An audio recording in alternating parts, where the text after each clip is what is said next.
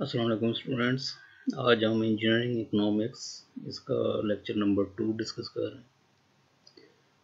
Question number five है the average price of gasoline in 2005 was dollars 2.31 per gallon in 1993 the average price was dollars 1.07 what was the average annual rate of increase in the price of gasoline over this twelve year time. तो अब question को पहले आपने समझना है। Question में ये देखिए यहाँ पर, ये 2005 गिवन है एंड टू 1993 गिवन है। तो यहाँ पे देखें 1993 और 2005 अगर आप इसको देखेंगे तो ये हमारी क्या बन जाएगी? फ्यूचर ईयर है। और ये हमारा क्या होगा? ये हमारा होगा प्रेजेंट ईयर जहाँ से हमने स्टार्ट लिया वो हमारा प्रेजेंट ईयर होगा। और जो एंड ईयर होगा वो हमारा क्या होगा? फ्यूचर तो ये फ्यूचर ईयर में प्राइस जो लेंगे फ्यूचर ईयर में हमारी प्राइस क्या होगी?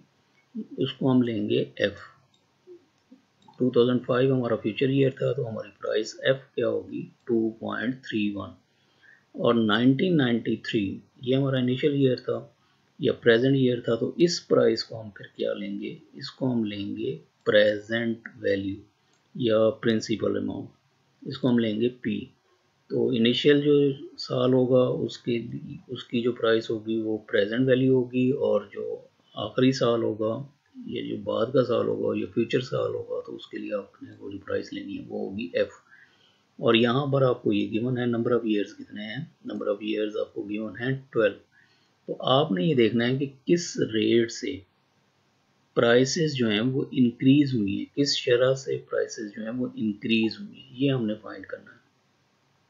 तो हमारी फ्यूचर अमाउंट गिवन थी। फ्यूचर अमाउंट क्या है? 1.07 और यहाँ पे ये लिखा भी हुआ with respect to the year 1993 the year 2005 is in the future 2005 future year होगा और 1993 जो है वो हमारा प्रेजेंट ईयर होगा। तो प्रेजेंट ईयर की प्रेजेंट प्राइस जो है, वो उसको हम पी लेंगे और फ्यूचर ईयर की फ्यूचर जो प्राइस होगी, उसको हम क्या लेंगे? एफ़ लेंगे। और नंबर ऑफ़ ईयर्स आपको गिवन है नंबर ऑफ़ ईयर्स कितने हैं? ट्वेल्व तो हमने फाइंड क्या करना है? हमने फाइंड करना है कि किस रेट से ये जो प्राइसेस हैं, वो इंक्रीज हो रही थी। तो फार्मूला ये है F is equal to P N to one plus I की पावर एन तो इसमें हम वैल्यूज़ पुट करेंगे और फिर हम देखेंगे कि हमारा आंसर क्या आएगा तो F is equal to P N to one plus I raise to power N तो एफ़ क्या था हमारा? 2.31 वो वैल्यू सब्सिट्यूट कर दी पी क्या था हमारा? डॉलर्स में है ये। 1.07 और 1 plus iota raise to power कितना है? 12 अब इस 1.07 को इस साइड पे लाएँगे तो इधर आगे क्या हो जाएगा? ये डिवाइड हो जाएगी वैल्यू और ये हमारा बच जाएगा one point iota raise to power twelve अब हमने देखना है कि इस ट्वेल्व को जब तक ख़त्म नहीं करेंगे तो आई की वैल्यू हम नहीं निकाल सकेंगे। तो आपको ये याद होगा कि अगर यहाँ पर स्क्वायर हो तो हम क्या करते हैं? तो हम ये करते थे, हम लेते थे स्क्वायर रूट स्क्वायर रूट में यहाँ पे टू लिखने की ज़रूरत नहीं होती थी। टू जो है वो अंडरस्टूड है कि टू यहाँ मौजूद होता था। और जब हम लेते थे क्यूब रूट अगर यहाँ पावर थ्री हो सपोज़ यहाँ पावर थ्री हो तो इस थ्री को ख़त्म करने के लिए हम क्या करते थे? क्यूब रूट लेते थे। और क्यूब रूट में आपने लाजमी यहाँ पे थ्री लिखना होता था। तो ये क्यूब रूट बन जाता था। अब यहाँ पे पावर क्या है? ट्वेल्व तो इस ट्वेल्व को ख़त्म करने के लिए हमने क्या करना है? ट्वेल्थ रूट लेना है। तो ये स्क्वायर रूट का साइन डालकर यहाँ पे आपने ट्वेल्व डालना है। तो इसको हम क्या पढ़ते हैं? ट्वेल्थ रूट तो आपने ये ट्वेल्थ रूट जब हम लेंगे तो इधर ये ट्वेल्व जो है वो ख़त्म हो जाएगा वैनिश हो जाएगा। अब आपने पहले इसे सॉल्व कर लें। ये है 2.31 divide by one point zero seven इसको कैलकुलेटर से सॉल्व करेंगे तो ये वैल्यू आ जाएगी 2.159 और ट्वेल्थ रूट को जब हम सॉल्व करते हैं तो ये क्या आएगा? वन ओवर ट्वेल्व अब आपने कैलकुलेटर से सॉल्व करना है। कैलकुलेटर में करते वक्त आपने एक बात का ख्याल रखना है। 2.159 की पावर आपने लेनी है। और जब आप ये पावर लेंगे ना तो इसको आपने ब्रैकेट में करना है। मसलन आपने क्या करना है? कैलकुलेटर में आपने लिखना है 2.159 पहले आप two point one five nine लिखेंगे और उसके बाद आपने लेनी है पावर पावर के लिए कुछ कैलकुलेटर्स में इस तरह का सिंबल बना होता है X raise to power Y ये बटन प्रेस करेंगे, या कुछ कैलकुलेटर में इस तरह का सिंबल बना होता है, ये वाला बटन प्रेस करेंगे तो ये पावर आ जाएगी। जब ये पावर आ जाएगी, फिर आपने ब्रैकेट डालनी है और आपने लिखना है वन डिवाइडेड बाई ट्वेल्व तो फिर ये आंसर आएगा। अगर आपने ये ब्रैकेट ना डाली, फिर आंसर ये क्लियर या आपका आंसर ठीक नहीं होगा। पहले आपने क्या करना है? Two point one five nine लिखना है। फिर आपने लेनी है पावर और पावर लेने के बाद आपने ब्रैकेट में सॉल्व करना है। और अगर आपका कैलकुलेटर जो है ये फ्रैक्शन में देता है तो, तो ये लेटेस्ट कैलकुलेटर में ये ऑप्शन भी मौजूद है तो आप उससे भी सॉल्व कर सकते हैं। तो जब हम इसे सॉल्व करेंगे तो ये आंसर आ जाएगा one point zero six six two minus one minus one कहाँ से आया? ये इस वन को इस साइड पे ले आए तो इधर आके ये माइनस वन हो जाएगा और ये आ जाएगा आई तो जब हम इसे माइनस करेंगे तो आई आ जाएगा zero point zero six six two अब हमने क्या करना होता है? हमने आई जो है वो परसेंटेज में लेना होता है। तो परसेंटेज में लेके आने के लिए आपने क्या करना है? हंड्रेड से इसे मल्टीप्लाई कर दें और हंड्रेड से मल्टीप्लाई करके आपने क्या करना है? परसेंटेज का साइन भी डालना है। आपको याद होगा पिछले क्वेश्चन में जहाँ भी परसेंटेज का साइन डाला होता था, वहाँ पे परसेंटेज का साइन हटाकर हम क्या करते थे?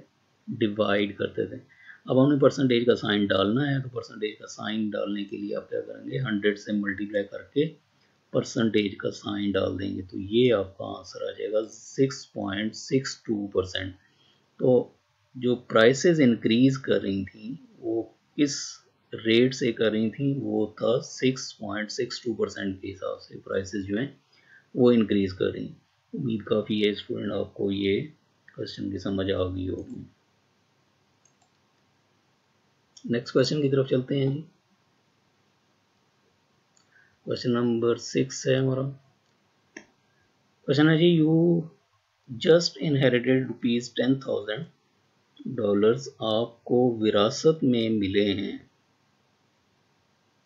या आपको किसी कहीं से गिफ्ट मिला है कितना? Ten thousand dollars while you plan to squander some of it away should you deposit in an account earning five percent interest per year if you would like to have dollars ten thousand in the account in ten years अब ये देखें, ये आपको amount ये मिल गई ten thousand ठीक है जी? अब आपने क्या करना है? इंटरेस्ट रेट आपको मिल रहा है कितना अगर आप बैंक में इसको डिपॉजिट करवाते हैं? फाइव थाउज़ेंड अब आप ये चाह रहे हैं कि मैं सारी की सारी अमाउंट जो टेन थाउज़ेंड सारे के सारे बैंक में डिपॉजिट ना करवाऊँ और इसमें से कुछ अमाउंट जो है वो अपने इस्तेमाल में ले आऊँ। और कितनी अमाउंट मैं बैंक में सबमिट करवाऊँ कि दस साल के बाद मुझे दस हज़ार जो है वो दोबारा मिल जाए। क्वेश्चन की समझ आ गई? हमने क्या करना था? हमने ये करना था कि ये दस हज़ार जो आपको मिले थे, ये सारे के सारे हम बैंक में नहीं डाल रहे हैं। हम क्या कर रहे हैं? इसमें से कुछ अमाउंट जो है वो बैंक में हम सबमिट करवाना चाह रहे हैं और कुछ अमाउंट हम अपने इस्तेमाल में लाना चाह रहे हैं। और इंटरेस्ट रेट बैंक का कितना है? फाइव परसेंट और कितने सालों के लिए है? दस सालों के लिए हम इसको रखना चाह रहे हैं। तो हम ये चाह रहे हैं कि 10 साल के बाद हमें क्या मिल जाए? फिर दस हज़ार वापस मिल जाए और कितनी अमाउंट हम सबमिट करवाएँ। तो जो अमाउंट हमने आज जमा करवानी है, उस अमाउंट को हम कहेंगे प्रेजेंट वैल्यू तो प्रेजेंट वैल्यू को हम किससे डिनोट करते हैं? बी पी तो पी हमने फाइंड करना है। और फ्यूचर में हमें क्या चाहिए? फ्यूचर में हमें टेन थाउज़ेंड चाहिए तो ये इसको क्या कहेंगे? एफ़ तो हमारा एफ़ क्या हो जाएगा? टेन थाउज़ेंड और नंबर ऑफ़ ईयर्स आपको गिवन है नंबर ऑफ़ ईयर्स कितने हैं? टेन और इंटरेस्ट रेट भी आपको बताया हुआ है इंटरेस्ट रेट कितना है? फाइव परसेंट और फार्मूला वही है F is equal to P into one plus I raise to power N तो इस फार्मूला में वैल्यूज़ पुट करेंगे और फिर हम देखेंगे कि कितनी अमाउंट आज हम बैंक में जमा करवाएँ। कि हमें जो है वो दस साल के बाद इतनी अमाउंट ये फ्यूचर अमाउंट है, ये हमें मिल जाए।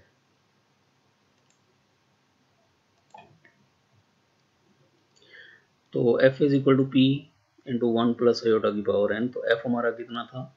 ये फ्यूचर में हमें अमाउंट इतनी चाहिए टेन थाउज़ेंड और ये पी जो है, जो अब आज हम बैंक में कितना सबमिट करवाएँगे, वो हमारा होगा पी और ये आई जो था, ये था फाइव परसेंट फाइव परसेंट को आपने क्या करना है?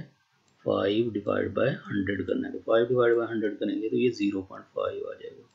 पॉइंट ज़ीरो फाइव आ जाएगा ज़ीरो पॉइंट ज़ीरो फाइव आएगा तो ये इसे ऐड करेंगे तो ये वन पॉइंट ज़ीरो फाइव आ जाएगा और इस पूरी वैल्यू को इधर लाएँगे तो इधर आगे क्या हो जाएगा? डिवाइड तो आपने इसको कैलकुलेटर से सॉल्व करना है तो ये कैलकुलेटर से सॉल्व करेंगे तो ये आ जाएगा six thousand one hundred thirty nine point one three तो ये हमारी होगी प्रेजेंट वैल्यू तो आज अगर हम उस टेन थाउज़ेंड में से जो आपको मिले थे, उसमें से अगर आप six thousand one hundred thirty nine point one three ये बैंक में सबमिट करवाते हैं तो आपको दस साल के बाद क्या मिल जाएगा? दस हज़ार मिल जाएगा। और यही हम चाह रहे थे। जी स्टूडेंट, उम्मीद काफ़ी है कि आपको ये लेक्चर समझ आया होगा। थोड़ी सी इसकी प्रैक्टिस कीजिएगा। थैंक यू जी, अल्लाह हाफिज़।